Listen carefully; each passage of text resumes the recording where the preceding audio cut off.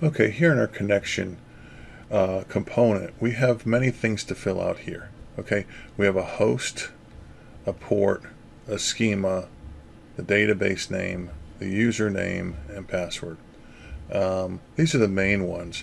So let's envision that I'm going to use a lot of, uh, I'm going to create a lot of jobs that use SQL Server connections. Okay, so what these are very good candidates for um, a context variable. So what I've done over here is created a SQL Server uh, context in my repository. So here's my repository. I come over to SQL Server. Uh, I mean, I'm sorry, I come into context. I say new, create context group, and that's when I created SQL Server. As you see, I'm I also created one for Redshift and the AWS S3 file system. Okay, so let's just look at SQL Server. So in SQL Server, what kind of things, uh, what kind of variables do I want in my context? I want basically what's on the screen to the context. So we're going to open this up. I'm going to go SQL Server. I'm going to say next. And as you see, I've already filled out a few of these things. So we have um, my connection is uh, here for to my SQL Server. Um, my database is called Talend Examples. My user ID is Talend user ID, and I have a Talend server password to put in. Okay, I'm also going to add in a port number, which most of the time is 1433, but you never know, so it could change.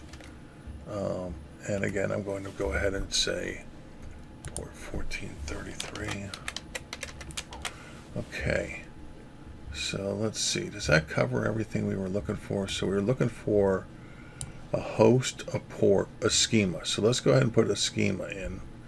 So in this case, um, I'm going to put in a schema. I'm just going to say SQL Server.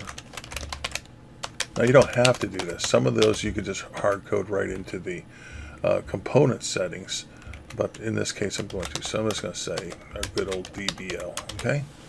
All right, so I'm going to say finish. And so I have these contacts. And these can be used in every package now. So when I finish putting these in, it will say, do you really want to propagate the rename variable to all jobs now? If yes, it might be quite long time to update. If no, the old variables will be, be changed to built-in built in in the job.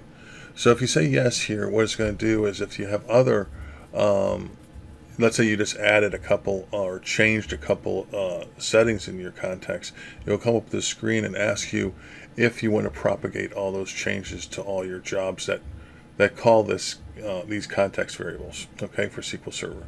So I'm going to say yes, although there's really nothing that calls it because this is the first time I've connected this context, but I'll say yes anyways. So this was very, there's no modification needed update because it's very quick.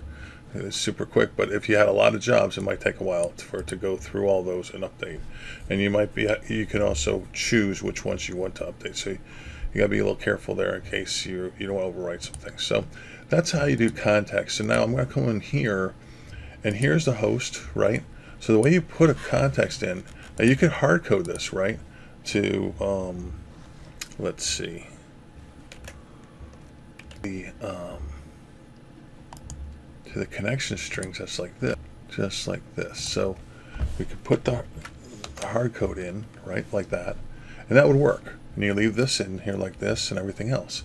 And that's fine. But the whole point of a context is that if if you hard code it in like this and all of a sudden you have a new connection that you you migrated the data to and you want to change that connection you have to go in and open every package and go into every component that calls that host and change it manually.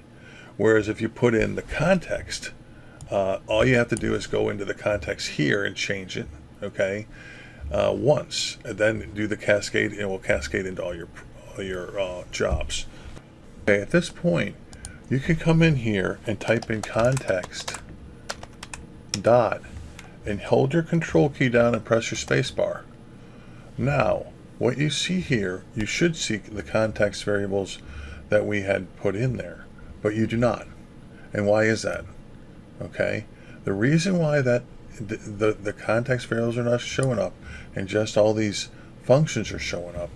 What you have to do before you can use the context is you have to put it into the um, into your job, right? You have to kind of register it. So what we have to do here is come into when you go to components, you might see context as a tab, right? And so you don't see anything in here as context, right? So what you do is we get this context. If you don't see this, okay, if you don't see the context here, you can go over to your um, show view, click there and type in context, right? And then you can come in here and then that will help you show uh, show the context. Okay, so if you don't see it, you, you go up. If you, there's something you don't see, you go to show view, type in a, a search pattern, and uh, it will find it. But since we already have it here, what we do is we go down to plus, okay? Actually, he, there's two ways of adding context.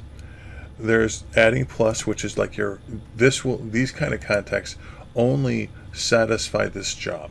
Okay, they're only in the local, they're only localized to this job. You can't use them in other jobs. So you can set up your context that way.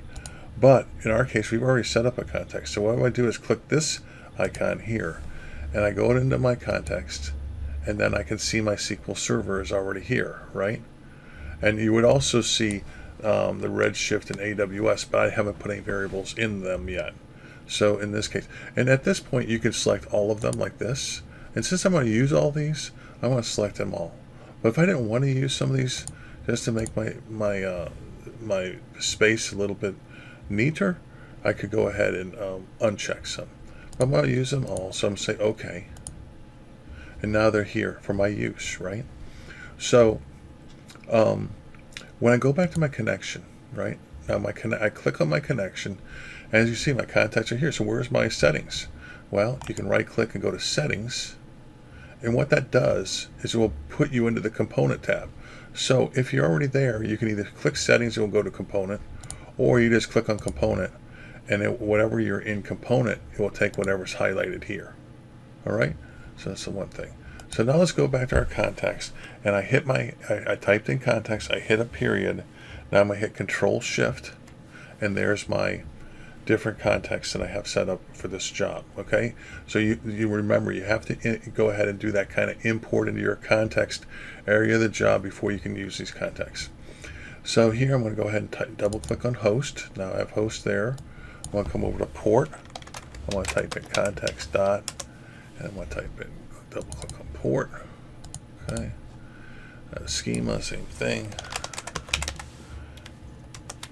Double click on schema and database. Um, sometimes you'll type this in manually. Let's say you're using a lot of different databases. You, you know you wouldn't have a database context to describe just the con you know just the database. So you might you might not use a context in this case, but in this case I did have it set up. So I'll type in context and we'll do database and user user um, yeah context dot now if I wanted to I could say SQL like this.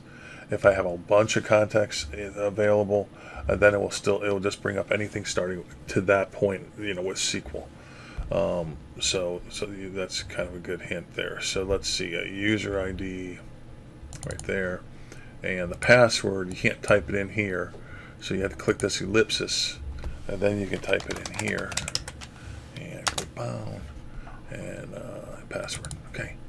All right. So now we got everything, right? All right. So everything's looking good here. So, and I'm going to go ahead now and uh, click and run this thing. And so that's how you set up context variables. I hope you've enjoyed this video.